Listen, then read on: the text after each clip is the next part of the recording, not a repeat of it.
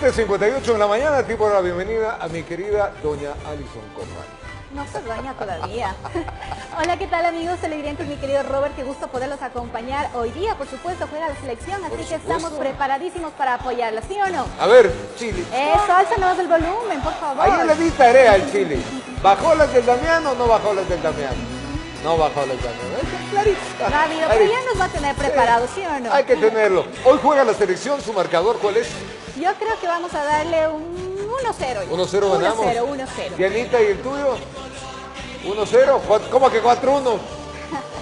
Ah, 1-0 o a 0. A 0, está bien, a 0, o sea, empate. A cero, bueno, un empate. Está bien. Yo, ¿sabes? yo, yo tengo el pálpito de que por primera vez vamos a ganar. Esperemos que sí, que ese pálpito funcione. Yo también confío en que nos van a entregar nuestra selección una alegría a todo nuestro país. Nunca hemos ganado en Paraguay, así que hoy siempre es la primera vez, ¿no? ¿No empatamos? No, nunca. hemos sacado allá un solo punto. Como dicen mis amigos en la costa, es nunca. bueno, hoy va a ser la primera vez entonces y vamos a poder disfrutar de este triunfo. Sí, señora. Así que aquí iniciamos. Hay mucho para contarles, déjenme decirles. Producto de las lluvias hay mucha afectación, mucha, pero mucha afectación en la ciudad de Quito. Las inundaciones no solamente es culpa de que, por ahí revisaba, de que, claro, no han hecho limpieza a los sumideros y ustedes no han dejado botar la basura de lado y lado. La responsabilidad también ciudadana. Usted tiene que prepararse también, amigo televidente, revisar, por supuesto, también sus por favor. Las, alcantarillas, para Limpiemos. que no exactamente, para que no hayan estos problemas. El tapamiento de los sumideros. ¿Tapamiento por qué? De lo que se bota tanto la basura. Entonces, ahora hay que hacer un doble esfuerzo. ¿no? Los pasos de desnivel también son peligrosísimos. Ahí está la, responsabilidad ciudadana. Digo, si usted mantiene también limpia su ciudad, no van a pasar estos problemas. Sí, señor. No van a pasar. Señorita, porque todavía está casada. Señorita, ok, ponga en pantalla, por favor. Esa está el WhatsApp, 098 518 43 4393. Ahora ya me lo chicaron de nuevo. Justamente. bueno, yo se alcanza a ver, es el 0985184393. Enseguida, este es el WhatsApp. Enseguida el reto malicioso de nuestra productora. Ya te sabía saber de memoria. Tengo mala memoria. Y. Lección para mañana. Mañana le vamos a poner al Robert que, como en el colegio, las planas 098. Uy, qué feo era ese, Una plana entera para que te Y el tuyo que era colegio de monjas, así te habrán tenido. Sí, sí, sí. sí de, una. Vamos a iniciar este trajinar de la comunidad. Gracias por acompañarnos y contarles un poco la política, que también entre la política y el fútbol estamos metidos este, estos días en nuestro Ecuador. Así es. Les contamos precisamente que el Consejo Nacional Electoral inició la distribución de las papeletas y documentos electorales a escala nacional. Ante el mal clima se tomaron alternativas para llegar a las zonas periféricas. Con la custodia de miembros de las Fuerzas Armadas en camiones embarcaron los kits electorales para que las primeras horas de este jueves salgan a las provincias orientales. Zamora, Morona, Pastaza, Napo, Orellana y Sucumbíos. El, el total aproximadamente para el oriente aproximadamente son 2.500. De esta forma inició la distribución del material a nivel nacional que culminará un día antes de las votaciones. El pasado 15 de marzo arrancó con el exterior. Recordar que Semexpo se encuentra dentro del distrito metropolitano, que implica que para el caso de la provincia de Pichincha, es obviamente la única provincia que no va a las bodegas, sino se distribuye desde Semexpo a lo que serían ya los recintos electorales.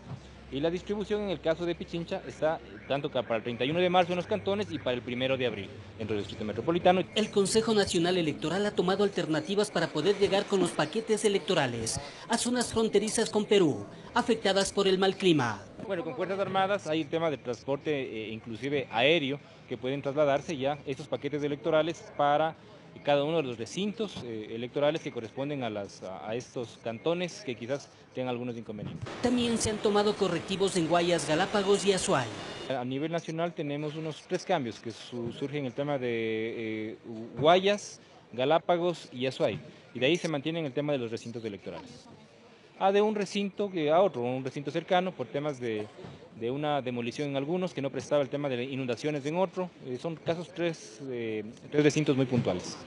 Se asegura que no se han efectuado modificaciones en torno a la seguridad en relación a la primera vuelta. No hemos perdido de ninguna manera el tema de la seguridad electoral dentro del proceso electoral como tal. Evidentemente hay algunos recintos que vamos a fortalecer el tema dentro de, Fuerzas Armadas, que son casos mínimos, pero no quizás como se estaba especulando de que se ha perdido de algún momento el tema de la seguridad electoral. Informó Héctor Romero, Gracias por acompañarnos, por desayunar con nosotros. Debo contar que Juan Pablo Pozo, eres el presidente del Consejo Nacional Electoral, hizo un llamado a que la divulgación de los datos de pronósticos y encuestas se efectúen de manera responsable, ha dicho, sobre todo el día de las elecciones. Se trata de representantes de escuelas politécnicas, institutos tecnológicos, colegios y de varias cámaras, comercio, turismo e industrias, que acudieron al llamado del Consejo Nacional Electoral para recibir una explicación técnica de las elecciones del pasado 19 de febrero y la segunda vuelta electoral del 2 de abril. Tenemos que llegar a la ciudadanía, tenemos que llegar a una ciudadanía que realmente esté informada, que conozca todos los procedimientos y el sistema político y el sistema electoral y la democracia es sinónimo de inclusión, sinónimo de llegar hacia la gente. De la importancia que tiene el poder contribuir a que la democracia sea mucho más clara, transparente, que recoja las distintas versiones y las distintas inquietudes. Desde el Comité Empresarial Ecuatoriano llegaron con cuestionamientos al proceso electoral. Por ejemplo, que el director de informática del CNE es el ex director informática de Alianza País. Entonces, evidentemente con ese tipo de aviso hay reservas respecto a que el tema se maneje con la suficiente transparencia. Destacan la importancia de la supervisión ciudadana el día de las elecciones, lo que garantizará transparencia para que el día de mañana, en un escenario de una elección que va a ser ajustada, no tengamos el problema del conteo de votos, si es a favor de uno, a favor de otro. Aquí no estamos para regalar ni para quitar un voto a nadie ni para cuidar los votos de una organización política, ni de un candidato, ni de un binomio, sino para cuidar los votos de la gente. El máximo organismo electoral exhorta para que exista seriedad en la promulgación de datos, de pronósticos y encuestas. El 19 de febrero pasado prendíamos un canal, veíamos un exipol, un boca de una, que daba ya 43 puntos o 44 puntos, esa organización política celebrando el triunfo, cambiábamos de canal y otro exipolo boca de una que hablaba de 38 puntos, que decía de una segunda vuelta, eso genera especulación en la gente. Hay que decirle a la gente que se espere siempre a los resultados oficiales que da el organismo rector del sistema electoral ecuatoriano. Informó Héctor Romero. Y Rosana Alvarado, asambleísta de Alianza País, presentó este miércoles una demanda penal en contra de la empresa Sedatos, acusada de falsificación de encuestas. Por su lado, la empresa rechazó esta denuncia. La demanda la presentan basados en una denuncia anónima que circula en redes sociales, en la que supuestamente se deja al descubierto que Sedatos habría modificado los resultados de sus encuestas para favorecer a uno de los candidatos en segunda vuelta electoral. La presidenta encargada de la Asamblea llegó hasta la Fiscalía para presentar formalmente la denuncia. Una manipulación de la empresa Sedatos para favorecer a uno de los candidatos a partir del fraude que están montando en los resultados de sus propios estudios dijo que la Fiscalía y el CNE deberán actuar en este caso para determinar la veracidad de la información difundida y sobre todo de la supuesta adulteración de información. Yo hago conocer a la Fiscalía esta que es una noticia sobre un acontecimiento que tiene responsabilidad penal. Pero la empresa Sedatos emitió la noche de este martes un comunicado en el que denuncia a la opinión pública un atentado contra su credibilidad e imagen institucional en vista del cobarde y anónimo ataque, dice el comunicado, del que ha sido víctima la empresa y sus funcionarios por sectores interesados en atentar contra la imagen y credibilidad institucional, utilizando métodos digitales, debemos manifestar a la opinión pública que datos y cada uno de los servidores que laboran en esta entidad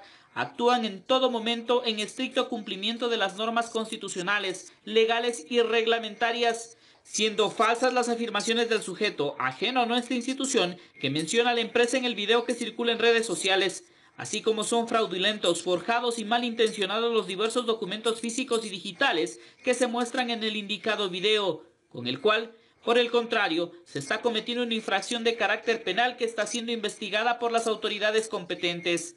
Por lo indicado, asegura la empresa, Ceratos y sus funcionarios deslindan cualquier responsabilidad respecto de la información manipulada y tergiversada con la que se está atentando en contra del buen nombre, imagen, favorable credibilidad y reputación que la empresa ha alcanzado con trabajo profesional. Informo Javier Gallo.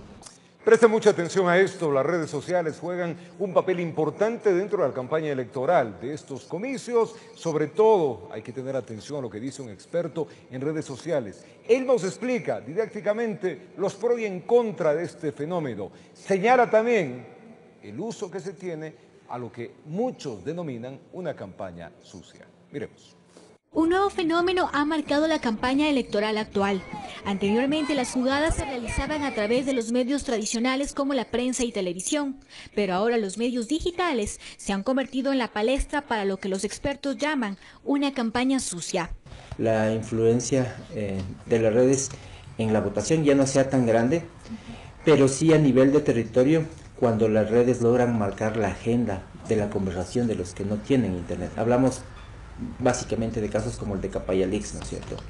Tenemos que circula una denuncia que empieza por las redes, pero que gente que no tiene internet al final termina preguntando, ¿qué es eso? ¿Qué es eso de los Capayalix? Y termina entonces también y es ahí donde tal vez podría haber entonces también un nuevo tipo de, de, influencia. En las últimas semanas de la primera vuelta y en lo que va de la campaña para el balotaje se ha visto un gran flujo de información, en la mayoría de los casos falsa, en las redes sociales, que a decir de los dos candidatos ha jugado en contra de ellos. Un fenómeno que se explica, según los expertos, es por el fácil acceso a estos medios que ha convertido al usuario en un actor directo. Siendo esta la campaña más conectada de la historia, además a través de teléfonos celulares. Es a su vez la campaña donde mayor desinformación ha habido. Tenemos frases falsas que, que, se, que se montan a personajes, tenemos, tenemos, noticias, tenemos noticias antiguas que circulan como actuales, tenemos eh, perfiles falsificados del cual se han aprovechado entonces eh, emporios inclusive hay transnacionales que se dedican entonces a generar noticia em, para poder generar tendencias falsas se les denomina troll centers, pero hay que aclarar que no son las redes las que hacen daño, es su mal uso.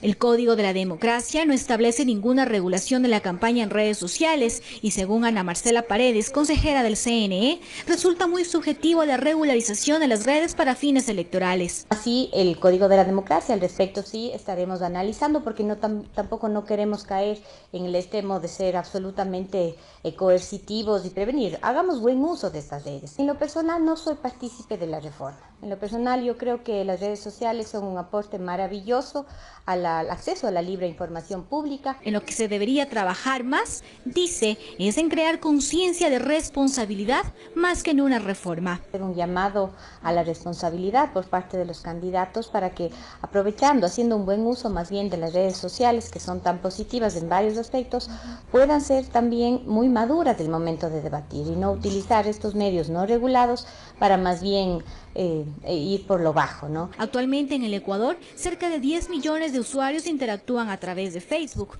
y alrededor de 2 millones en Twitter. Informó Alison Corral. El candidato presidencial por la Alianza Creo Suma, Guillermo Lazo, participó de un evento con las juventudes de su movimiento al sur oeste de Guayaquil. El postulante reiteró que de llegar al poder revelará el listado de los supuestos implicados en el caso Odebrecht. En la 44 y la Q se ubicó el epicentro de la reunión de jóvenes y adolescentes junto a miembros del sector para recibir al candidato presidencial Guillermo Lazo de la alianza Creo y Suma. Insistió en que en caso de llegar a la presidencia, 30 días después de su virtual posesión, revelará un listado escabroso.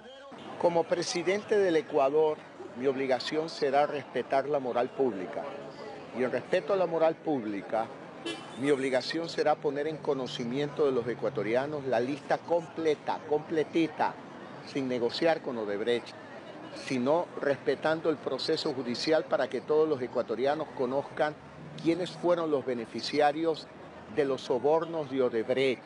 El postulante a la jefatura de Estado fue acompañado por las bases juveniles de su partido en un encuentro que promovió el liderazgo y el emprendimiento, algo que dijo será infaltable en caso de obtener la presidencia. Durante la exposición de varios moradores, pidieron en reiteradas ocasiones oportunidades y libertad. Ganaremos las elecciones el 2 de abril porque son los ciudadanos quienes al depositar su voto deciden el futuro del Ecuador y el futuro del Ecuador es el futuro del cambio para vivir en democracia, en libertad, con derecho a prosperar. informó Enrique Muñoz.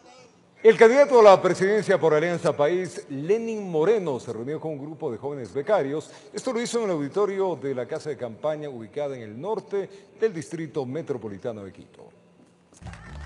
El candidato a la presidencia pro Alianza País, Lenin Moreno, se reunió este miércoles con varios jóvenes becarios ecuatorianos que estudiaron en diferentes centros universitarios del exterior.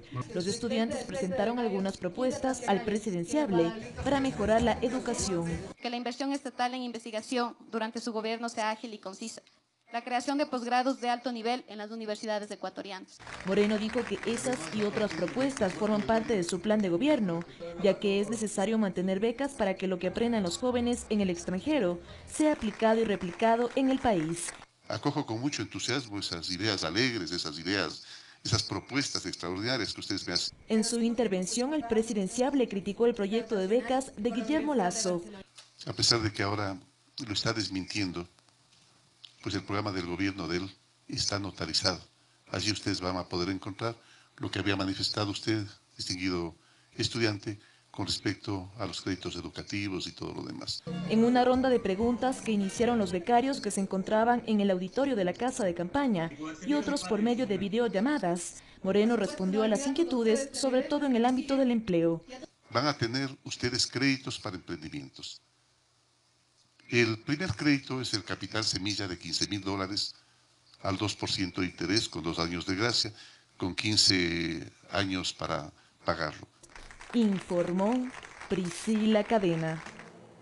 En respuesta al desafío realizado por el candidato Guillermo Lazo al vicepresidenciable Jorge Glass, el oficialista realizó su declaración juramentada en la que desvirtuaría cualquier nexo con la empresa Caminosca. Glass además emplazó al presidenciable de la oposición a que demuestre que su patrimonio no tendría nada que ver con las empresas offshore observadores internacionales. Fue durante sus actividades de campaña que el candidato a la presidencia Guillermo Lazo retó al aspirante a la vicepresidencia Jorge Glass. Yo reto al señor Glass que vaya donde un juez y bajo juramento ante el juez diga que él no tiene nada que ver con aquellos episodios denunciados por el diario Expreso sobre la empresa Caminosca.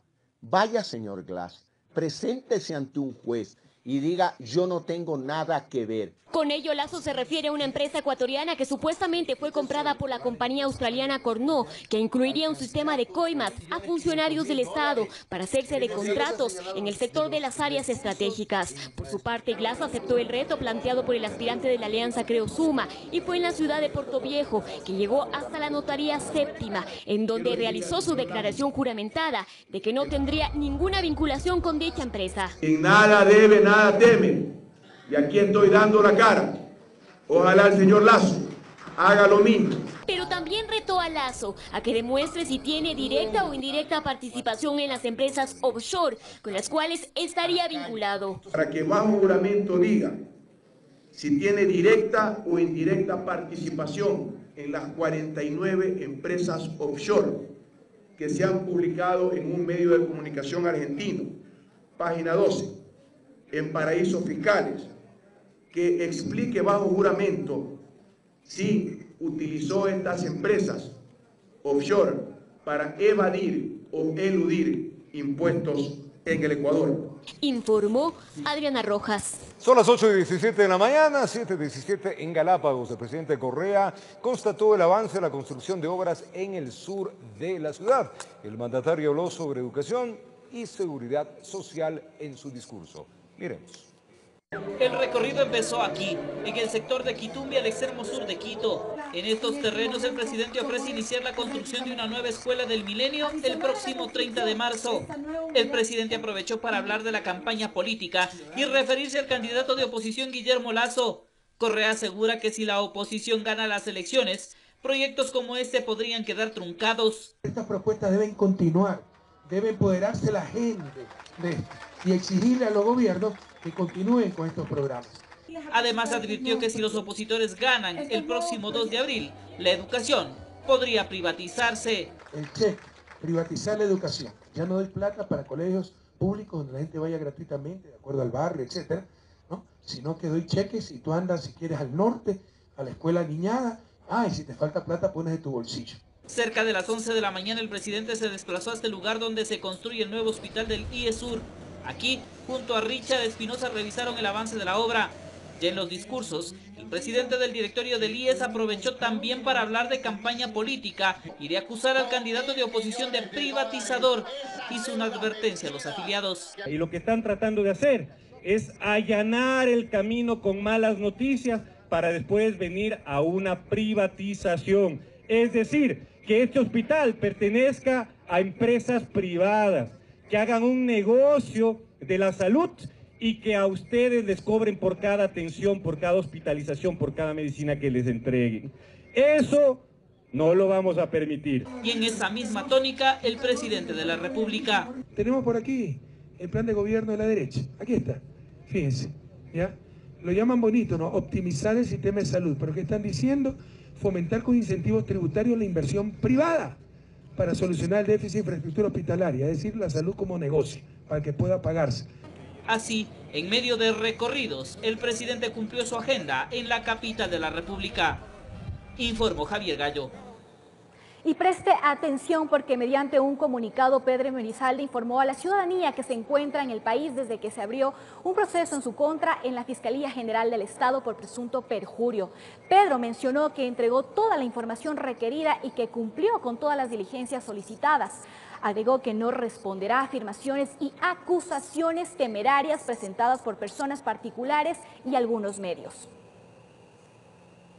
Vamos a contarles ahora que la Comisión de Justicia de la Asamblea Nacional inició el tratamiento y debate del proyecto de la ley referente a los paraísos fiscales. Wilson Vallejo, coordinador jurídico de la Contraloría, argumentó que el organismo no tiene facultades para colaborar la existencia de bienes en el exterior. Y por otro lado, Ricardo Andrade, el coordinador del CNE, expresó que reformar el Código de la Democracia brinda seguridad a la función electoral, mientras que Edwin Jarrín, vicepresidente del Consejo de Participación Ciudadana, consideró que sería indispensable una reforma a la ley de participación para incorporar el cumplimiento del mandato popular. Y desde la puesta en vigencia del acuerdo comercial con la Unión Europea, el país ha tenido un ingreso por exportaciones correspondiente al mes de enero de 10 millones de dólares, lo que según los expertos es una muy buena proyección para los meses siguientes. Desde que entró en vigencia el acuerdo con la Unión Europea, las exportaciones en este primer trimestre del año se incrementaron.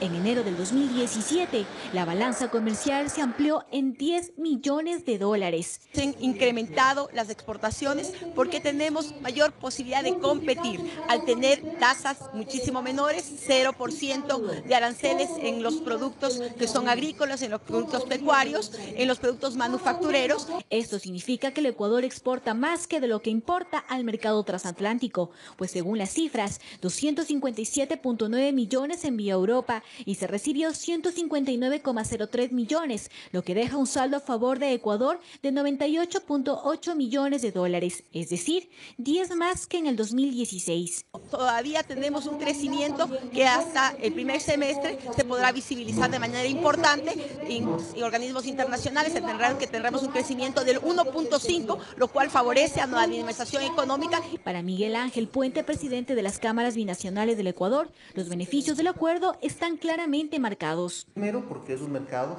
que eh, corresponde a 513 millones de habitantes. Es un mercado importante en el cual ya están colocados nuestros productos y pueden llegar a colocarse más. Eh, consideramos que el acuerdo es beneficioso en la medida que nos permite que aquellos productos que ya se encuentran en la Unión Europea puedan tener una mayor posición de competitividad. Aunque explica que este crecimiento en las exportaciones no necesariamente corrigió el déficit de la balanza comercial no petrolera por el impacto generado por las salvaguardias. Lo que ha originado es una afectación en la competitividad del país ¿Por qué digo esto? Es porque muchas materias primas o insumos que eh, teníamos que importar para poder eh, realizar la producción nacional estaban grabados con salvaguardias o con cupos de importación. Esto representa naturalmente una traba al comercio y esto nos lamentablemente nos pone en una situación de falta de competitividad. Sin embargo, expresan que la proyección para los próximos meses es positiva, pues se advierte un mayor crecimiento y competitividad en el mercado europeo, informó Alison Corral. Muy bien, mi querida Ali, luego de haber hecho esta ronda y recorrido de las noticias políticas nacionales, Vamos ahora sí a meternos de lleno, ¿le parece? Con la community. Así es, porque siempre nosotros tenemos a todos nuestros equipos desplegados para todo, en toda la ciudad para que atienda precisamente Sí, claro. las necesidades que ocurren ahí en su barrio, amigo Televi. Por eso tenemos esta ida y vuelta, esta comunicación maravillosa entre ustedes vecinos, que hacen posible que, claro, junto a la autoridad logremos arreglar lo importante, una ciudad que tiene que ser inclusiva para todos, una ciudad amigable. Y eso depende de usted, amigo querido, vecino querido, depende también de usted tener su sitio, su casa, su calle, toda la vereda en perfecto estado, no botar la basura. En fin, hay un montón de cosas que hay que ir cambiando los hábitos. En pantalla, sección WhatsApp, el 098-518-4393. El WhatsApp se convierte en WhatsAppotes y WhatsAppitos. Pues Ahí llegan precisamente todas las, Sí. las denuncias que usted amigo televidente, y que nosotros estamos dispuestos a atenderle. Por eso nos vamos de inmediato. Diga usted. En la avenida Maldonado, un hueco de grandes proporciones dificulta la circulación vehicular y pone en riesgo la movilidad de los peatones. Veamos.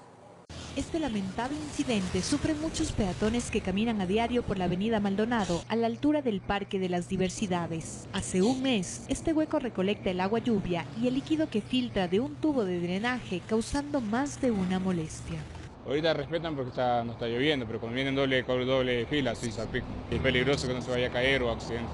Eso ocasiona hasta, hasta accidentes de tránsito, pues.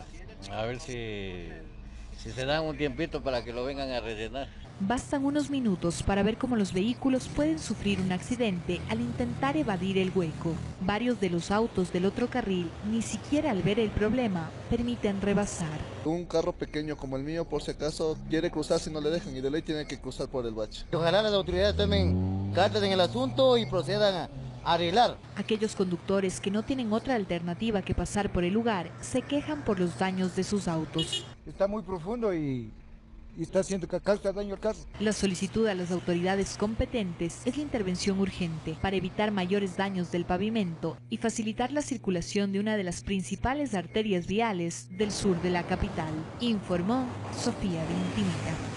Qué lío con esto realmente Avenida Maldonado, autoridades. Esa pobre Avenida Maldonado siempre le pasa algo, ¿no? Si no son las rejillas, son eh, los huecos, pero ahí, ahí es un verdadero relajo. No hay cómo transitar Eh, realmente. Realmente sí, es una pena lo que estamos viendo, mi querida Ali. Se dañan Hueco- los vehículos. Usted se cayó ahí, ¿no? Yo me caí ahí, se dañan los vehículos, realmente es un huecarón, Sí, lo que llamamos huecarón, No, el que está en, eh, la- en la avenida Maldonado, antes de llegar al recreo, Verá. me parece. Pero en realidad es toda la vía. Toda la vía. Toda la vía. Ahí pedimos de intervención de la autoridad. Igualmente, tengan amabilidad.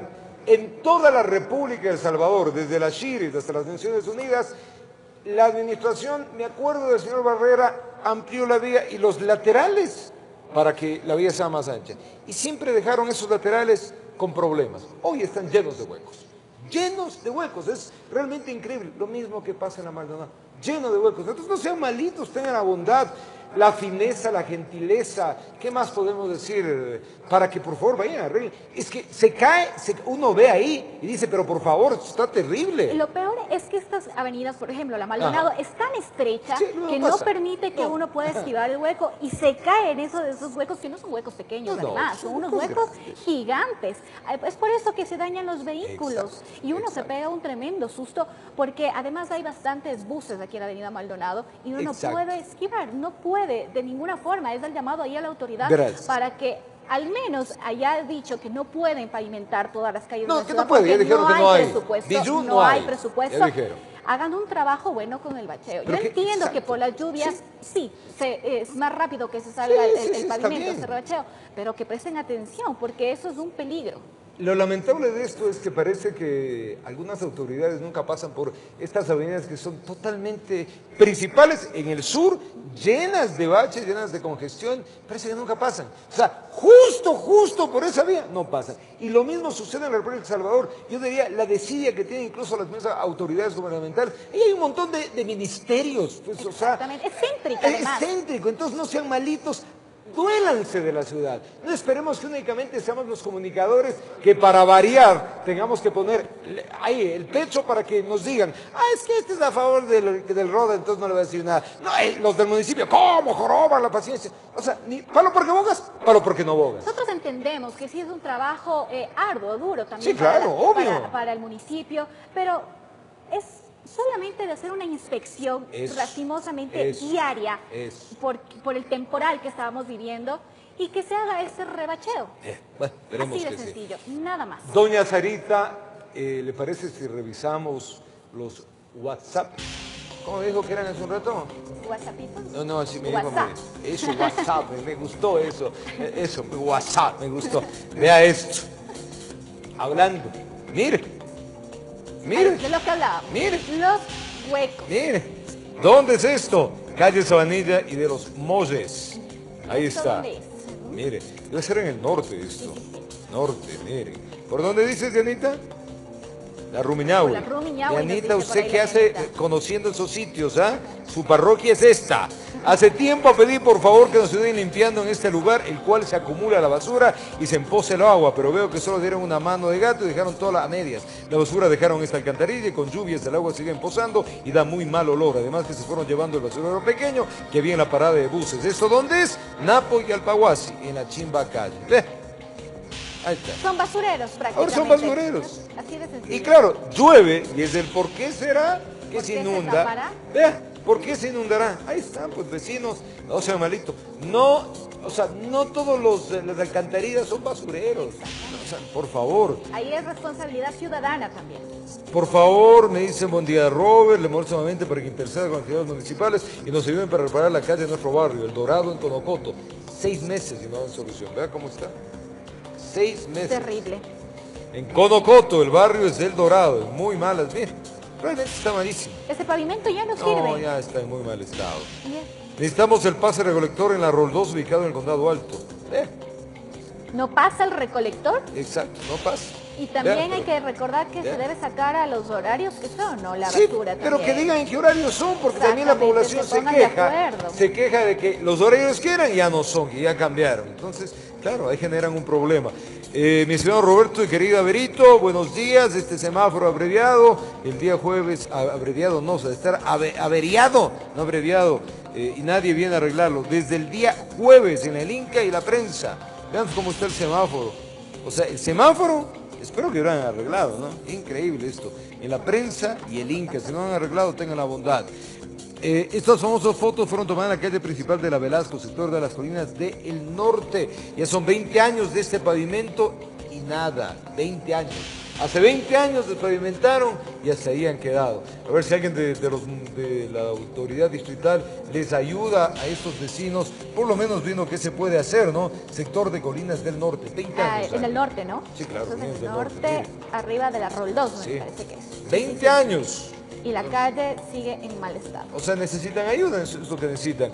En, en otras calles, en menos de, de una cuadra hay tres de estos eh. Contenedores. contenedores, ¿no? Ahí es con la gestión que Ahí no la entiendo yo la distribución que hacen.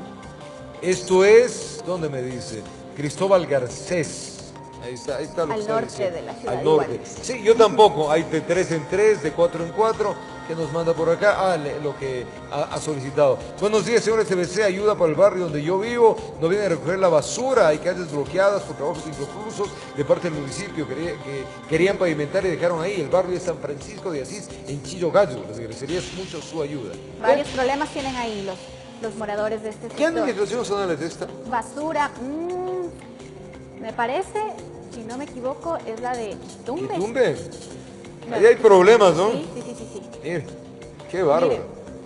Y mira también ahí los... los... Claro, es lo que se quejan. Exactamente. Lo que han dejado ahí, Esos terrenos baldíos. terrenos baldíos, todo, No hay todo, por dónde caminar porque está llena de, todo de maleza, de sea, ¿no? césped. todo una maldita sea. Intentaron pavimentar, ahí dejaron. Hay autoridades del municipio, el distrital de esta zona, no sé si es Quitumbe, ojalá, ¿ve? Es un chaquiñán eso en Qué realidad. pena, ¿no? Qué Sí, pena. sí, sí. Cuando debería estar realmente bien. ¿Qué nos dicen por acá? No es justo que las canchas del mayorista se alquile. Las canchas del mayorista. Reglamento por utilizar de la cancha sintética. Me imagino que esto es del municipio, es cancha Claro. sintética, ¿no? No ingresar con mascota, bla, bla, bla, bla, bla. Se les una hora por, por partido, martes a domingo. eh, dice nuestro vecino que lo, lo alquilan 10 dólares la hora. Y nos Terrible. manda, y nos manda, mira, cerrada Pero yo, con candado. esas, esas canchas son públicas. Públicas, pues claro. Son públicas. Son públicas, ahí me está mandando. Mira, Horario de atención, mira. mira, ahí están las reservaciones. Marlene Tipán. Ahí está. No, no, no, no, eso tienen que hacer un control realmente. No si sé. Es un, un- un espacio público, si es un espacio público. yo no sé si es público o privado. Exacto, Pero si aquí es dice público no puede pasar eso. sintética. Si es privado, Si es privado puede, pueden puede hacer- hacerlo, ¿no? Habrá que averiguarlo, habrá que averiguarlo. Si es público, averigüen. Si es privado, ni modo, pague los 10 dólares. Mire, a medio de, de día, focos prendidos eh, en la ciudad y también la contaminación. Contaminación. Los focos no les veo, pero Yo la tampoco, contaminación pero- sí. Ahí sí estamos viendo. Eh, miren, al me- eh, ahí está de nuevo los focos, pero no, no encontramos No los encontramos focos. los focos. Los fo- es que no, Pues estamos bien seguidos. Estamos ciegos, ¿no? No veo. Ah, sí, claro, ahí están los focos, Ah, pues. cierto. Claro, ahí están los focos. Unos puntitos ahí, Claro, lo que pasa es que claro. está un poco lejano, tenemos que Y como, y como está adherido, Claro. obviamente no se distingue Mira, muy bien la focos luz. prendidos, ¿no? Eso es un atentado contra nuestro medio ambiente. Gracias, mi querida Ali. Nos obligan a cuidar el agua y, y, eh, hacen por la vez, se nos fue por acá. A ver, nos obligan a, a cuidar el agua porque no hacen, ellos llegaron a validar una vereda en el Parque de la Armenia, validaron tres metros de vereda y lo demás de agua lo botaron. ¿En serio? Mira, Terrible. claro, ahí está, botaron el ¿Es agua. No. Qué increíble, hay cosas que uno no entiende, ahí Sí, yo está. digo que indolente que es el ser humano también, ¿no? Por el día del agua, Por el día del agua, voto el agua. boto el agua. No, terrible. O sea, hay mucha gente que necesita el agua, ¿no? sí. Es ahí- indolente con el planeta, la gente. Esta camioneta se, se estaciona todos los días y permanece allí, en la vereda de la calle Machala, sector Parque Inglés.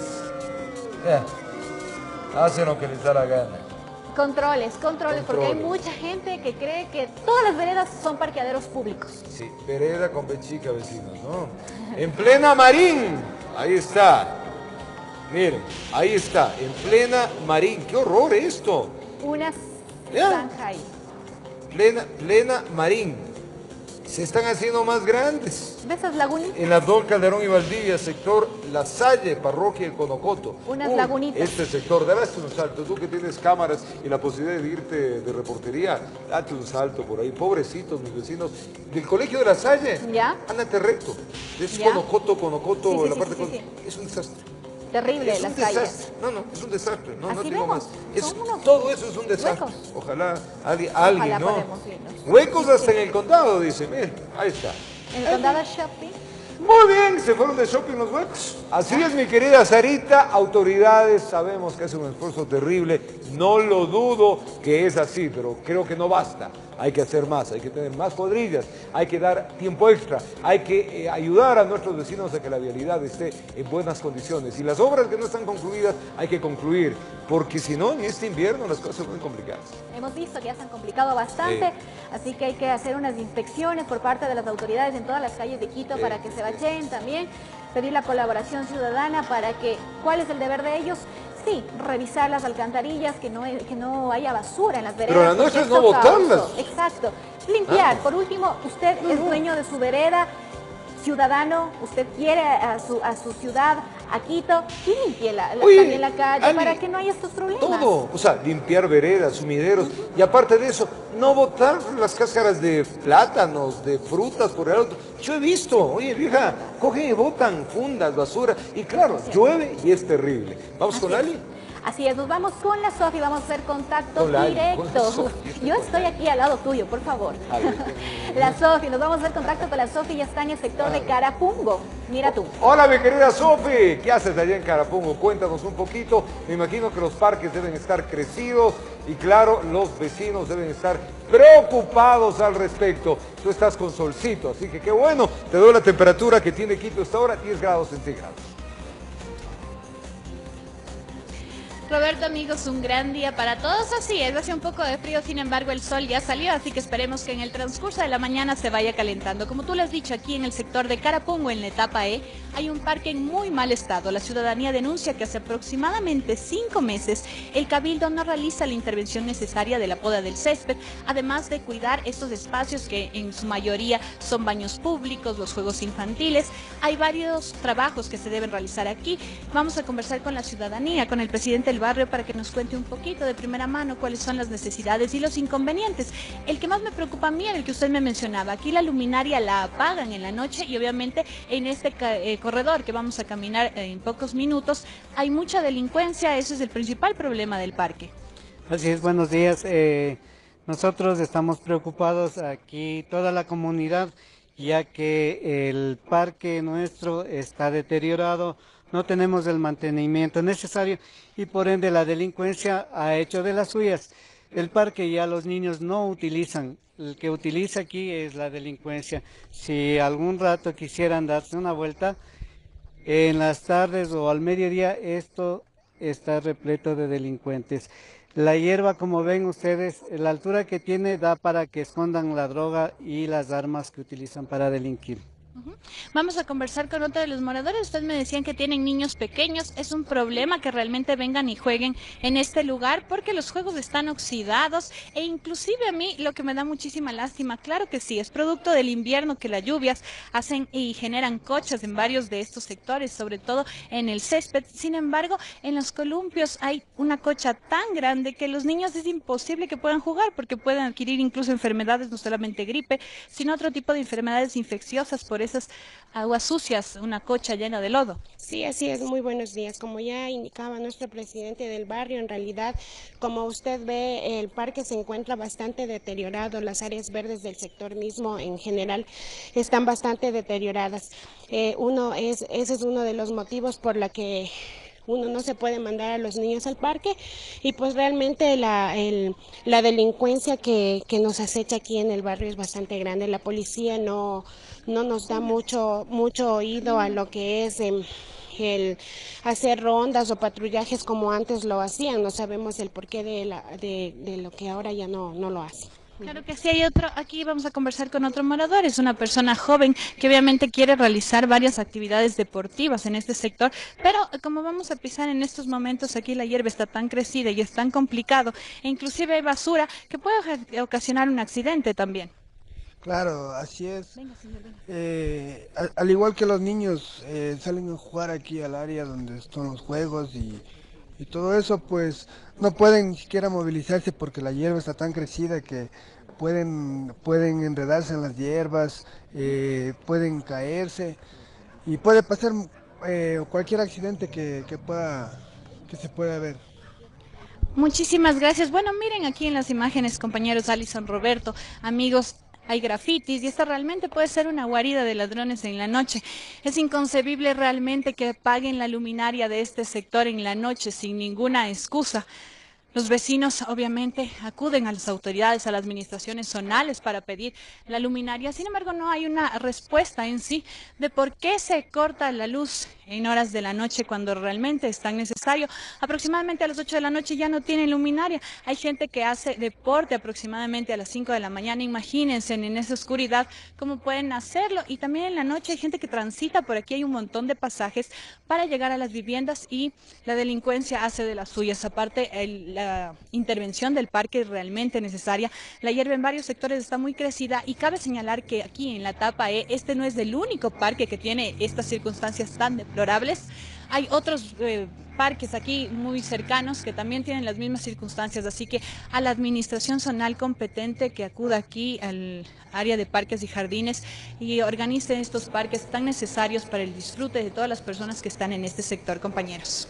Así mismo es esto, mi querida Sofi. Ahí estamos viendo, Ali, que el parque necesita una poda, ¿no? Así es, como poda. Por las lluvias precisamente ahora crece eh, de ma ¿Más menor rápido? cantidad, Ah. más rápido también el césped en estos espacios verdes. Entonces sí sería importante que se haga una intervención por parte del espacio público para que pueda tener bien este, este espacio verde. Y hay que averiguar a quién corresponde el tema de la luz que tú me estabas diciendo, Sofi, porque de verdad eso es un peligro, pues, o sea, de noche sin luz en el parque, los eh, amigos de lo ajeno, los pungas, los choros, los ladrones, los que les gusta usurparse lo que no es de ellos, hacen de las suyas. No sé si es de la empresa eléctrica o realmente también tiene Así que es, ver Roberto, mucho, y algo eh, antes de concluir, dígame, compañeros, mil disculpas que les interrumpa, pero aquí hay una Interrumpa inquietud nomás. ciudadana muy importante. También la colaboración ciudadana es tan necesaria. La ciudadanía dice que si van a salir con sus animalitos, obviamente con una correa necesaria y no los dejen aquí afuera, porque eso también contribuye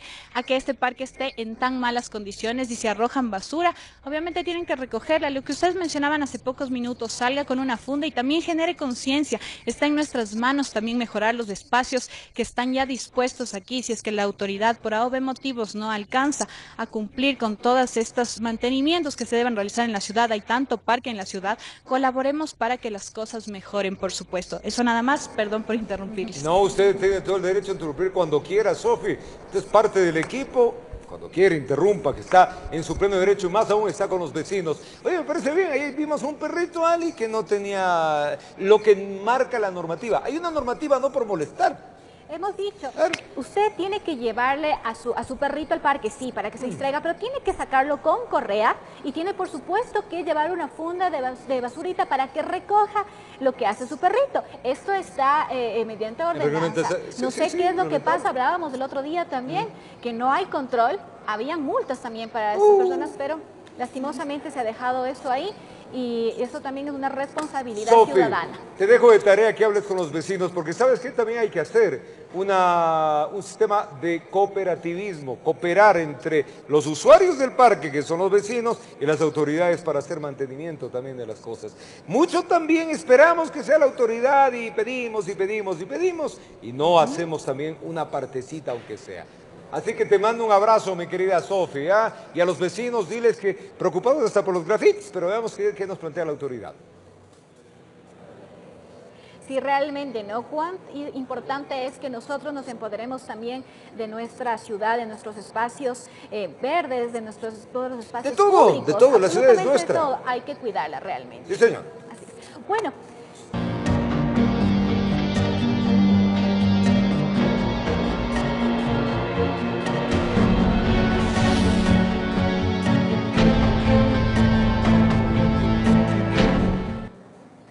Acumulación de agua en las quebradas y el taponamiento de alcantarillas son ocasionados por las fuertes lluvias en la capital.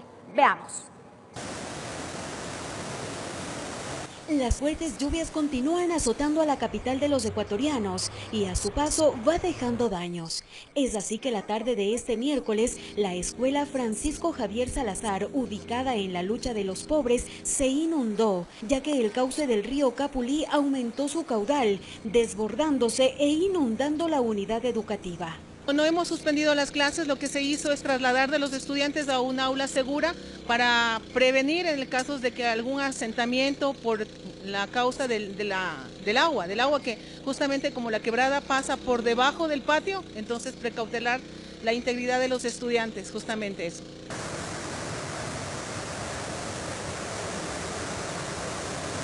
Aparte de la escuela, el desborde del río Capulí inundó algunas casas del sector. Sí, brindando ayuda, succionando este momento lo que podemos. Adicional ya se, ya se confirmó igualmente la presencia del COE.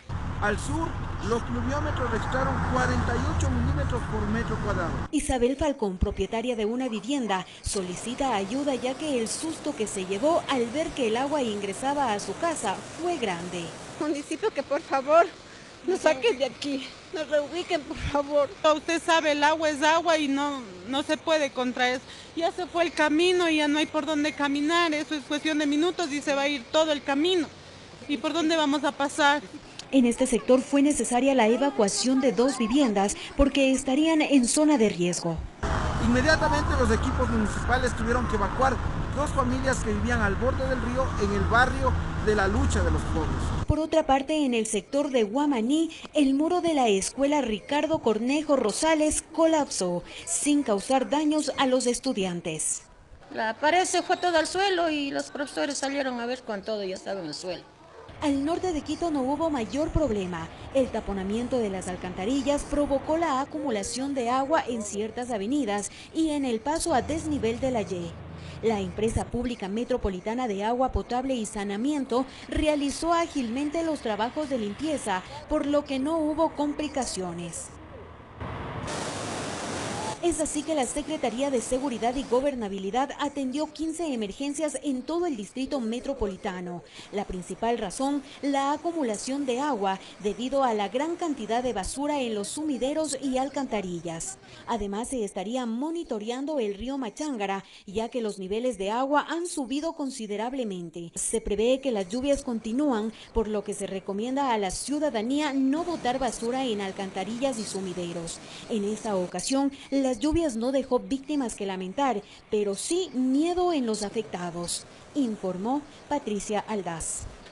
Este es el Machángara. Ese es el Machángara. Lo que vimos en el norte, en algunas vías del sur de la ciudad, es producto de los aguaceros fuertes y los taponamientos, producto de la basura que está en la calle, producto de la tierra que está en la calle y producto de la desidia de nosotros también. Porque no solamente es cuestión de que las autoridades limpien las alcantarillas, es cuestión de crear una conciencia. Ese es el producto de... El 96% de la ciudad de Quito está alcantarillado y es una de las ciudades que tiene mayor éxito justamente cuando hay este tipo de emergencias. Esto usted lo puede corroborar viendo lo que ha hecho Diario El Comercio de El Perú. Han hecho un comparativo de lo que están las emergencias en Ecuador y en Perú, y hablan específicamente de Lima y de Quito. ¿Por qué Quito no se inunda o no tiene los problemas que tiene Lima? Porque la alcantarilla y el servicio de emergencia es eficiente. Pero también depende de nosotros, pues vecinos. Si nosotros no ayudamos, si nosotros no colaboramos, no botamos la basura en la calle, bueno, o sea, Ahí hay las consecuencias. Y claro, las iras va contra todas las autoridades, porque ahí sí, nosotros somos angelitos. Y digo nosotros todos, me aculpa todos, incluido el que está hablando. Entonces, tenemos que entrar en conciencia. El invierno es sumamente fuerte. Ayudemos a las autoridades. Vamos con Andreita Orbe, está en el sector de eh, Alegre. Lamentablemente, este sector de Sangolquí, esto corresponde al municipio de Sangolquí. La situación para contarles lo que sucedió con un muro que se dio justamente por las fuertes lluvias. Está en un conjunto habitacional. Yo me quedaba preocupado porque el vecino nos decía eh, que fue la autoridad municipal a ver, pero como esto es privado, se dio las vueltas y no les ayudó. Es lamentable lo que les ha pasado a esta familia, mi familia porque son dos casas, mi querida Andreita. Mándales por favor el abrazo del caso, habla con ellos y un poco para saber, esto es del municipio de, de qué acciones han tomado y cómo se les puede ayudar, Andreita.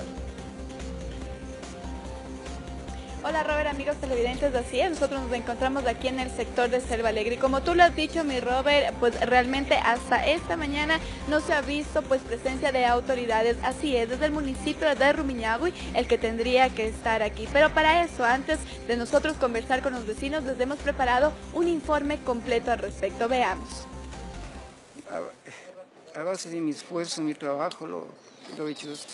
Con la voz entrecortada y lágrimas en los ojos, Diego Pino, el dueño de la vivienda que se vio afectada la noche del pasado martes, cuenta cómo su casa quedó prácticamente destruida al caer un muro de tierra debido a un deslizamiento por las fuertes lluvias. Eh, yo estaba de visita donde mi papacito que vivía acá a la vuelta y pude ver que cuando ya llegué acá a mi casa, pude ver que el muro, un muro que hay acá de, se había, había cedido y veo que mis hijos corrían descalzos, ensangrentados a los piecitos. Y aunque afortunadamente no lamentaron la pérdida de una vida humana, su mascota, su amigo fiel Yoshi, quedó entre los escombros. Es tremendo, o sea, si una persona estuviese ahí, posiblemente estuviéramos muertos. Mi perrito, la mascota de la casa, está entre los escombros. Pero no solo su casa fue afectada, la estructura contigua que pertenece a su hermana también se destruyó.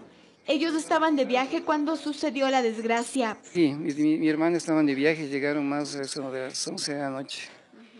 Según su testimonio, después de unas horas de ocurrido el hecho, llegaron equipos y maquinarias del municipio, pero no realizaron ningún trabajo en el lugar, pues habrían asegurado que al ser propiedad privada, no podían intervenir. Lastimosamente los entes gubernamentales, como es el municipio, vino, se paseó acá con ciertas personas nada, no hicieron, simplemente vinieron, creo que solamente a, a como se dice, a husmear nada más, y nada más, no han hecho nada, absolutamente nada.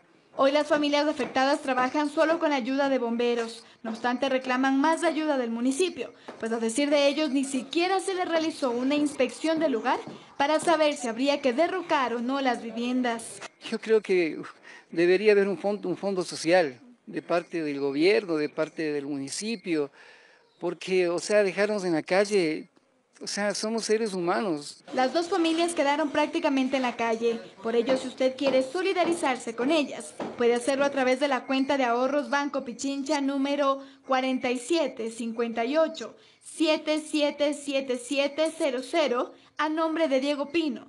En Quito informó Andrea Orbe.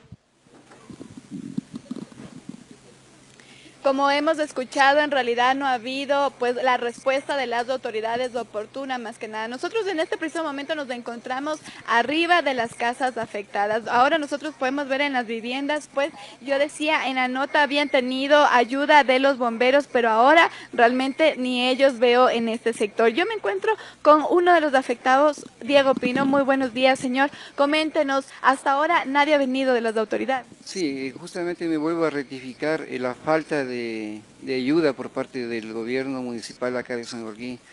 Eh, lo que sí quisiera es eh, felicitar al, cuerpo de bomberos, sí, de verdad ellos sí se han hecho presentes, pero de, otras instancias no se han hecho para nada presentes. Continuamos con ese aislamiento que nos han hecho. Lastimosamente el día, de, el, día que supuestamente se iba a dar una ayuda, con la pala y con un camión se regresaron. Eh, la verdad que yo veo la falta de, humanidad por parte de los municipales eh, y la verdad que nos sentimos todavía desprotegidos acá. Además hago un llamado porque esto es una bomba de tiempo. Si en verdad a mí ya me pasó esto, a mi ñaña, hay casas que todavía están inhabitables acá y también están con el temor. El hecho, el daño ya se ha provocado ya.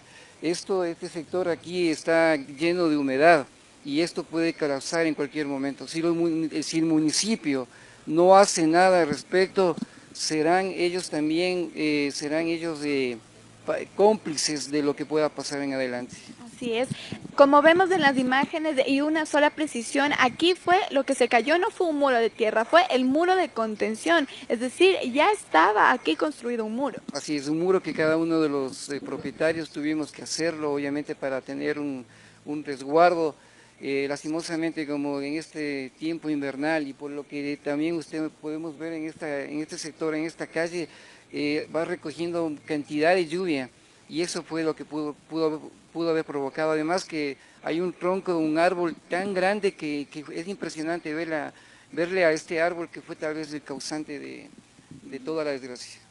Muchísimas gracias, vecino. Yo me encuentro por eso con más moradores de este conjunto, pues como hemos escuchado, la, la, incertidumbre, el temor no es solo de las dos familias afectadas, sino de todo este conjunto. Buenos días, mi señora, ayúdeme con su nombre, apellido y coméntenos, ¿realmente ustedes están preocupados por esta situación? Sí, estamos preocupados por cuanto ya hubieron desgracias. Felizmente, la familia de mis hijos no estuvieron, eran ocho y media de la noche, sino salieron como esquirlas las, las ventanas disparadas, ¿no?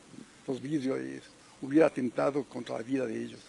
Bien, un, agradecimiento tan grande para los moradores, para los vecinos, muy buenos, solidarios, pero no así en el caso de nosotros, como dice, dijo mi hijo recién, la indolencia de, parte de las autoridades.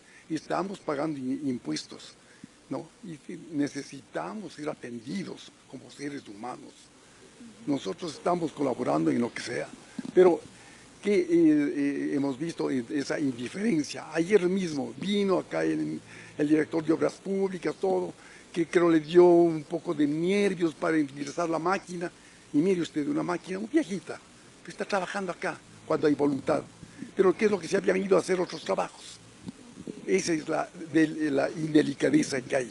Muchísimas gracias, mi señora. Ahí está, como lo hemos oído, realmente es reiterar este pedido, una ayuda de las autoridades, más que nada para que vea si esta zona no solo volvemos a insistir para las personas que fueron afectadas, sino para todo este conjunto. Hemos visto también un tronco ahí, realmente, pues ellos quieren saber técnicamente si esto sigue en riesgo o no, puesto que nos ha dicho el INAMI que las lluvias seguirán hasta el mes de abril. Esta es la información que se produce aquí en este sector en Selva Alegre. Seguimos con ustedes en estudios. Muy buenos días. Gracias, Andreita. Increíble lo que nos están contando. Habrá que preguntarle al ingeniero Jacome, que es el alcalde de allá de Sangolquí, del, del cantón Rumiñahui, el por qué no hay una atención inmediata frente a una emergencia que tienen estos vecinos de Selva Alegre.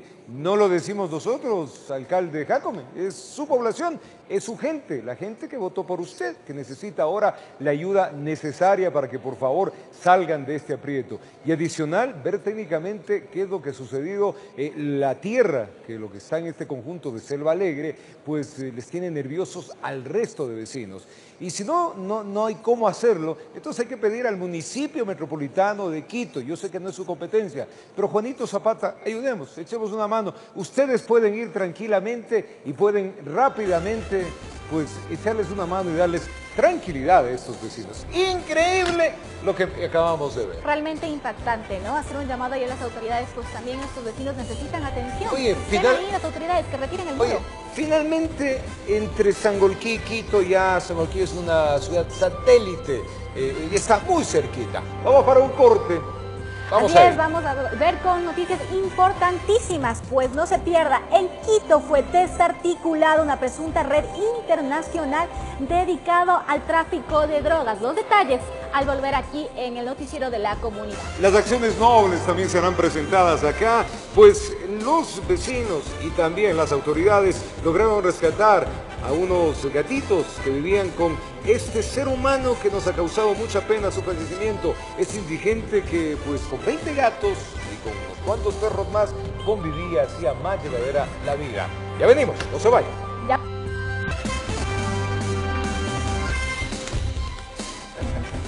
Muy bien, estamos acá de vuelta, gracias por acompañarnos. 9 y 4, mi querida Ali. 9 y 4 de la mañana es momento de saludar a todos nuestros radioescuchas de Radio Quito que nos sintonizan a esta hora de la mañana. 760M, ahí les mandamos un abrazo grande para compartir la segunda hora de este el primer noticiero de la comunidad. Y vamos directamente a Paraguay. Hoy juega la selección. Hoy ganamos, hoy ganamos. Esa, eso es lo que me gustó. A mí me Nos está gustó. escuchando ya por ahí nuestra compañera Violeta, que supongo ella también quiere apoyar acá al Si Ecuador. está puesta la camiseta. no importa, pero también tiene que apoyar ahora al Ecuador. Sabemos también que, que tu selección paraguaya se va a desenvolver bien, pero hoy les ganamos, Viole, les ganamos. no hay nada darle, que hacer. hay que darle un abrazo a Violeta González, nuestra compañera de la red Albavisión. A esta hora, querida Violeta, te queda muy bien esta camiseta de la selección paraguaya. En Quito, Ecuador, son las 9 y 5 de la mañana y tenemos 10 grados centígrados. Veo que estás con hinchas ecuatorianos de esta hora, así que te mandamos un abrazo. Adelante. Buenos días, Roberto. Alison, ustedes con 10 grados, nosotros acá estamos cercanos ya a los 30, acá hace bastante calor. Y sobre todo el calor de la, de la hinchada de Ecuador es lo que se está sintiendo porque estamos en el hotel del Yacht Golf Club Paraguayo, aquí hospeda la selección ecuatoriana. Y bueno, estos son algunos de los hinchas que llegaron hasta acá. Y primero que nada vamos a arrancar ya con un cántico para que se le escuche desde Ecuador a todos ustedes. Sí se puede, sí se puede, sí se puede. Bueno, vamos directamente. Ustedes eh, vienen en una especie de tour y pidieron hospedarse específicamente acá. Eh, bueno, sí, venimos invitados por una empresa y estamos acá por cuatro días, nos regresamos el sábado. Sí. Eh, estamos desde el día de ayer y, y hasta ahora lo hemos pasado súper bien. ¿Ya se cru- cruzaron con algún jugador? Sí, ayer vimos a varios de los jugadores, nos tomamos fotos, todo muy bien, muy chévere. sí. Tranquilo, tranquilo. Bueno, Roberto, Alison, les quiero mostrar ya algo nada más para que vean lo lindo que es este intercambio cultural.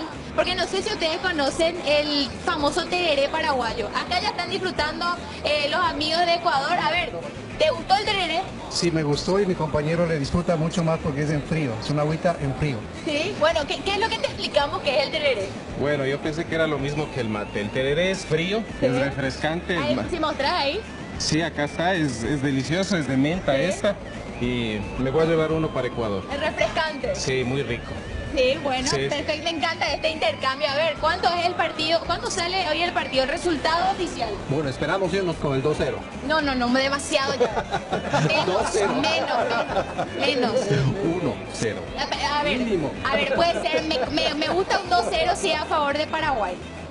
1-0 a favor de Ecuador. No, no, no, no, no. Bueno, pero en el hipotético caso de que gane Ecuador, ¿quién va a meter el gol? Hipotético caso, digo. Valencia, Valencia, uno 1. 1-0 gana y Ecuador. nosotros metemos dos. Lescano, Lescano y vamos podemos poner la ficha por Sasa tal vez. Bueno, a ver, ¿quién más? ¿Quién más? A ver. ¿De dónde vienen ustedes? De Ecuador, de Guayaquil. De Guayaquil. De Guayaquil. Bueno, ¿y las expectativas para el partido de hoy? 2-1. 2-1. Bueno, tenemos entendido, Roberto Allison, que el, el equipo de, de Ecuador ocupa el segundo piso, diríamos, vamos a mostrarles, de la parte de las habitaciones que son este sector, que están viendo ahora en pantalla. Ocupan el segundo piso aproximadamente, pero ellos se pasean por todo el hotel. ¿Quién ya los vio? ¿Ustedes ya los vieron? Sí, ya estuvimos con los jugadores, todos nos tomamos algunas fotografías, todo muy bien.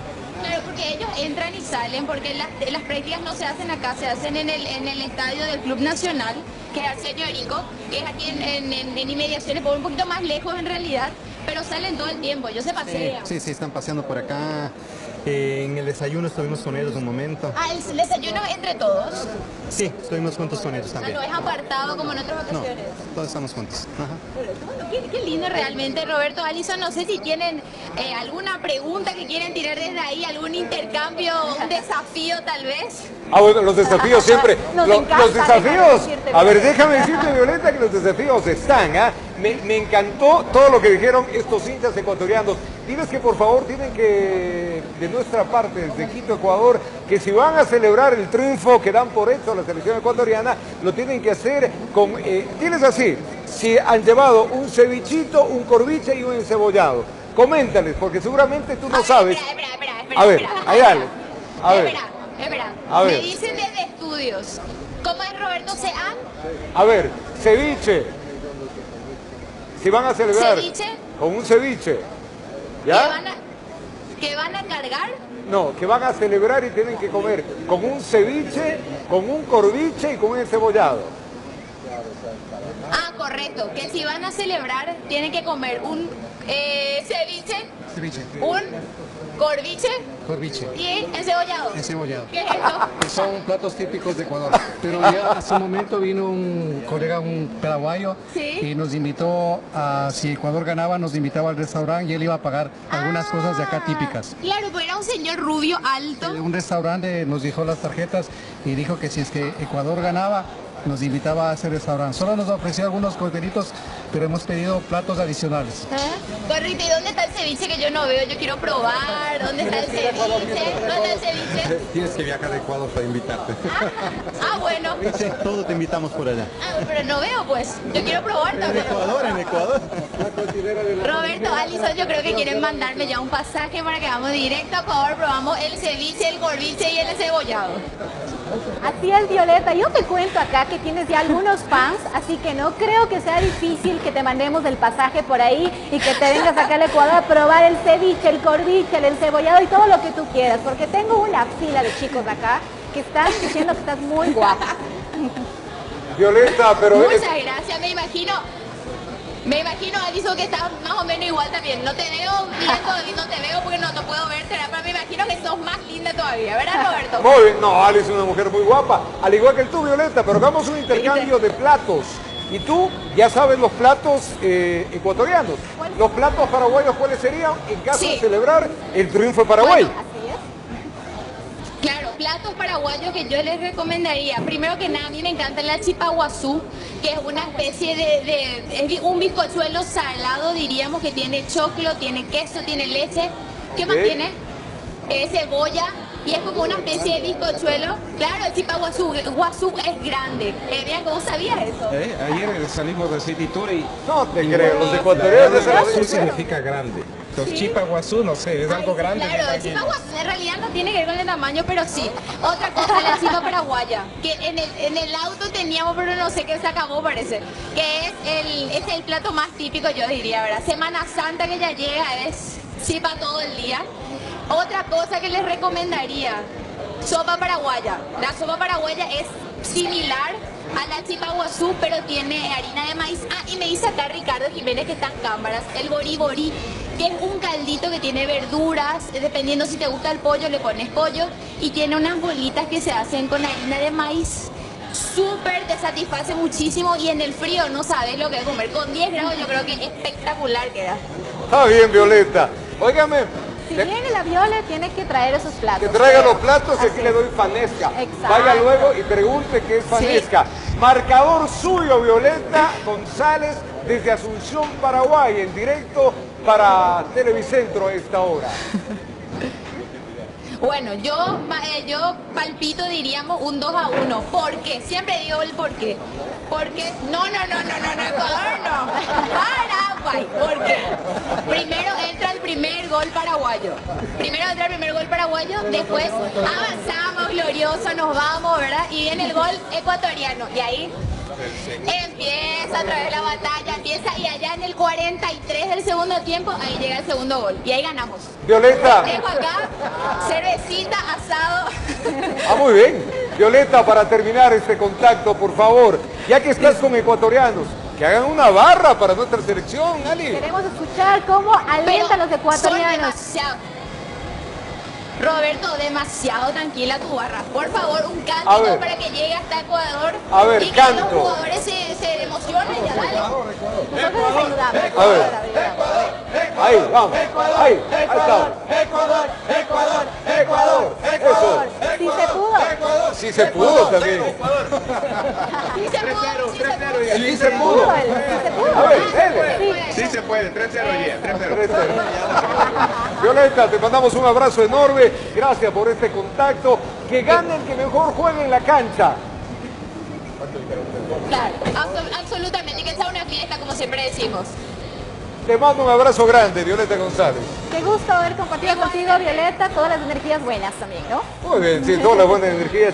Nos hemos, eh, hemos disfrutado de este contacto. Hemos conocido Asunción. acerca de la gastronomía también paraguaya, mira tú, y sobre qué linda, ¿no? Tiene un bastante positivismo también la Mucha buena acá. energía a nuestra compañera de la red Albavisión que nos transmitió en vivo, como diríamos, en vivo, en directo a todo color, vía señales de humo y con todo. Así Ahí pues. es. A ver, Sarita, no te escuché. ¿Quieres ir con WhatsAppitos? ¿No? No, no, no. ¿No? No quiere, no quiere, no, quiere. Yo no lo vi porque estaba en intermedio, así que más adelante hacemos con WhatsApp. La Sarita no nos ha dicho su marcador. Sí, no hemos dicho el marcador. por eso le- 2-1 gana el 2-1, Ecuador. ¿Y ¿Cuál es su marcador, cierto?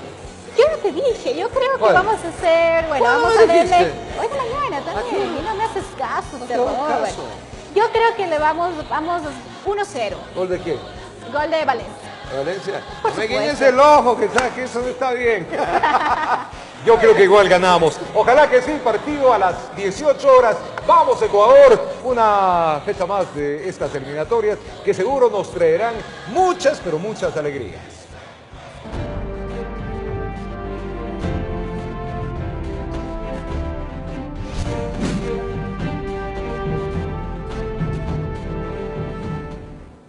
Preste atención porque fueron rescatados y llevados a un centro de atención veterinaria parte de los gatos que estaban bajo el cuidado de un indigente que falleció. A los animales, luego de ser valorados, les buscarán un nuevo hogar.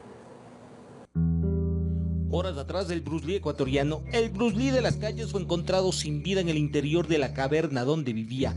Aparentemente se trató de una muerte natural. El cuerpo era velado por sus fieles amigos gatitos que fueron recogidos de la calle. Tiene un montón de gatitos chiquititos ahí.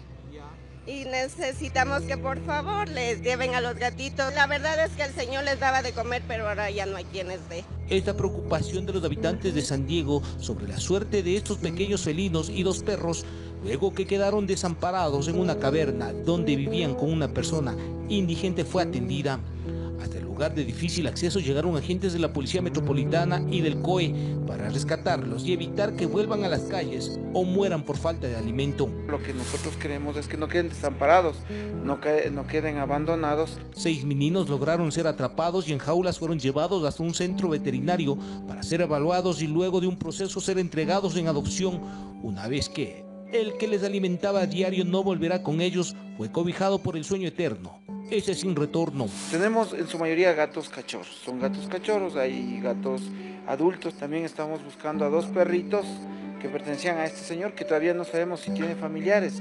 Jackie Chan se ganaba la vida cantando en los buses, tenía pocos amigos, de su familia nadie sabe nada. Hace varios años encontró un sitio donde vivir, construyó en medio de la ladera, al frente de la parada de buses del corredor occidental, una caverna que le servía para protegerse del frío de la noche y del sol. El cuerpo permanece en el departamento forense de la policía, está como NN. Nadie ha llegado por medicina legal para reconocerlo. Si alguien conoce de algún familiar de este señor, se acerque, porque inclusive existe ya una funeraria que nos ha llamado y que quieren hacerse cargo de los gastos Quienes seguramente lo extrañarán serán sus gatos y dos perros. Por lo demás se fue cobijado por la soledad, esa que le acompañó por varios años cuando solo recorría las calles capitalinas, buscando que alguien le regale una moneda. En Quito informó Iván Casamen.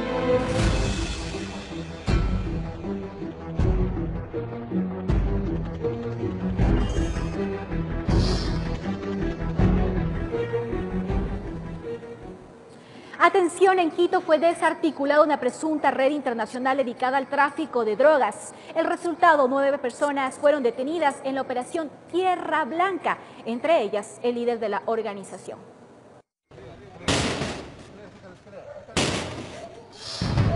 Los minutos avanzaban y quienes fueron convocados al operativo ultimaban detalles. El plan estaba diagramado y era revisado por última vez. Fiscales y policías de las diferentes unidades coordinaban los allanamientos. Los grupos tácticos guiados por agentes de la unidad de lucha contra el crimen organizado Ulco se movían a los blancos.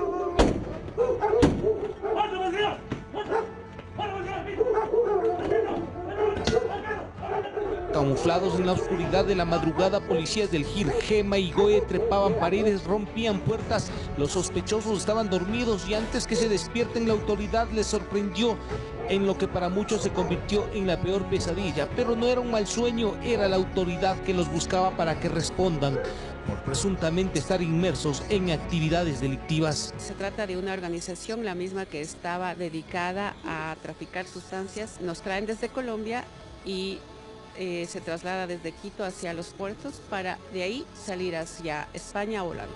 San Pedro también fue parte del operativo. El clima acompañó, dejó de llover. La helada madrugada capitalina se calentó con el movimiento policial.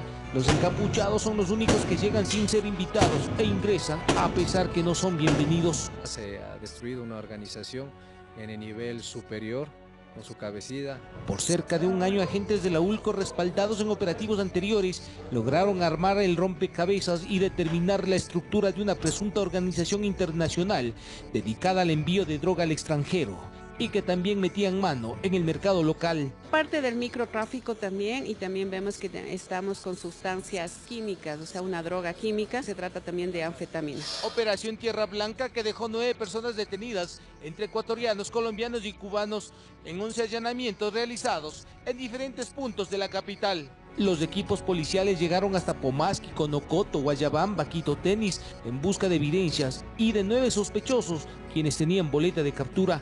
Los presuntos integrantes, seis ecuatorianos, dos colombianos y un cubano, entre ellos el aparente cabecilla de la organización. Un vehículo incautado, eh, más de 35 sellos secos de diferentes unidades financieras, eh, de embajadas, se dedicaban aparte del narcotráfico, posiblemente al trata de personas. En esta ocasión cayeron mandos altos, medios y los encargados de la logística. En Quito con cámara de Carlos Romero, informó Iván Casamen. Vamos directamente con Iván. A propósito, está en Chiriaco, en este sector del sur de Quito. Se encontró un cuerpo eh, de un hombre en un, baúl de, un taxi. Esto se presume que se trata de el chofer del automóvil. En este punto de la ciudad estamos con Iván. Iván, por favor, los detalles de esto, si eres tan amable. Hola, ¿qué tal eh, compañeras? Un buen día. En efecto, nos encontramos en el barrio Chiriaco Antiguo. Esto es a pocos metros de la Villa Flora. Lamentablemente tenemos que comunicarles que a partir de las 6 de la mañana, cerca de las 6 de la mañana, personas que transitaban por el lugar eh, observaron un taxi estacionado en la calle Pucará, eh, inmediatamente por las novedades que presentaba, que estaban las ventanas abiertas, algo extraño notaron, avisaron inmediatamente a lo que es la policía de servicio urbano, los uniformados llegaron y verificaron, cuando realizaban la inspección la revisión del vehículo, se toparon que el cuerpo de una persona, en este caso sería el conductor y dueño de este vehículo, se encontraba embalado, amarrado y dejado en la cajuela. Eh, inmediatamente y llamaron ya unidades especializadas de la policía, en este caso DINASED y criminalística, para que realicen las respectivas investigaciones. Y en este momento se encuentra cercada lo que es la calle Pucará, eh, agentes tanto de la DINASER como de criminalística se encuentran recopilando evidencia, recopilando huellas, una vez que este crimen ha conmocionado a los habitantes de la zona, a los a las personas que transitaban por este lugar en horas de la madrugada. Como les informábamos amigos televidentes, esto se detectó cerca de las 6 de la mañana de este día jueves. Una lamentable noticia. Por el momento no se cuenta con más detalles. La policía todavía no emite una versión oficial para saber las causas eh, que ah, pudieron haber provocado la muerte de este señor taxista. No sabemos si tiene heridas de arma blanca o qué tipo de lesiones provocaron su muerte. Presumen que fue el vehículo junto con el cadáver fueron dejados aquí en el lugar aprovechando la madrugada y lo desolado de esta zona pero no se conoce más detalles, no hay mayores eh, novedades o mayor información. La policía investiga, realizan las averiguaciones tanto en los compañeros de la compañía de taxis de lamentablemente del fallecido para ver con quién se comunicó por última vez y qué información cuentan para poder dar con los responsables de este crimen que se ha registrado en el sur de la capital. También ya logramos observar que eh, llegaron familiares de la víctima, eh, son escenas dolorosas saber que el padre de familia salió en horas de la noche a cumplir con su jornada laboral y aparece hoy ya con la novedad, con la noticia de que falleció víctima de la presunta, presuntamente de la delincuencia. No, como les manifestábamos, amigos televidentes, todavía no hay una versión oficial de lo que sí logramos conocer es que es un taxi legal, cuenta con todos los documentos, los permisos para trabajar. En este caso, todavía habrá que confirmar si, contaba con las cámaras de seguridad al interior, que serían pieza clave para poder determinar qué rumbo tomó y quiénes fueron los pasajeros que se subieron por última vez a esta unidad y así poder esclarecer este crimen que se ha registrado, como les manifestábamos, en el sector de Chiriyacu, Antigua, al sur de la capital. Con esta lamentable noticia nosotros regresamos con ustedes con más información. Gracias, Iván Casamen. Un buen día también para ti. Lamentables informaciones. Estamos ya en las 9 de la mañana con 25 minutos, 8.25, allá en Galápagos. Continuamos con más información. Les contamos que la policía capturó a un hombre al interior de un bus en el sector de la Alameda, esto en el centro de Quito. El individuo portaba una maleta con una sustancia que según los agentes era droga. Tras un operativo antidelincuencial que realiza frecuentemente la policía del distrito Manuelita Sáenz en Quito, los agentes capturaron a un hombre con actitud sospechosa que llevaba consigo una maleta. Donde se le pidió sus documentos y se procedió a verificar sus maletas, encontrando en su interior una, una caja de cartón con un tipo de embalaje blanco donde se pudo verificar que presumiblemente se trata de, de droga. El individuo fue detenido en el sector de la Alameda al interior de un bus. Aparentemente vendía pescado, pero dentro de la maleta lo que se presume que llevaba era droga. Bueno, es una... tenemos que hacer un reunido químico para saber exactamente la pureza y la cantidad, pero estamos hablando de un kilo aproximadamente. El hombre de 33 años y oriundo de Esmeraldas, al parecer no sería la primera vez que es detenido por portar droga y tiene antecedentes, eh, una de esas está con medidas sustitutivas eh, por el mismo problema de droga. Tras las investigaciones, el detenido será trasladado a la unidad de flagrancia para la formulación de cargos. Pero sí se trata de una cantidad fuerte que se ha logrado incautar para evitar el consumo del microtráfico en la ciudadanía aquí en el centro histórico de Quito informó Patricia Aldaz. Verlo te irradiaba esa conexión, esa buena energía. Un papa político también. Sí, papa político. En fin, con estas imágenes vamos. Así es, nosotros pero queremos desearle primero muy buena suerte, muy buena energía a nuestra selección porque el día de hoy ganamos. Así que pónganle buenas ganas, 6 de la tarde, todo a ponerle buena energía. Ecuador en su